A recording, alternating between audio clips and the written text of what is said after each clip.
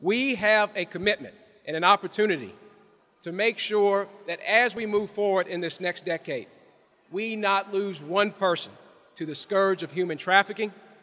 and I will fight every day to ensure that victims are given a voice and those that choose to engage in this evil are prosecuted. We guarantee you that in the Attorney General's office.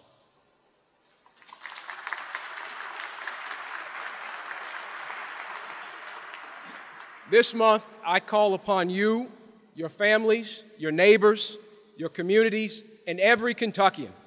to join us in acknowledging our roles in eliminating human trafficking for the Commonwealth. This is a critical issue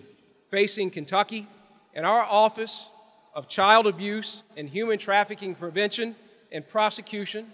which is headed by Heather Wagers, which is here, here this uh, afternoon,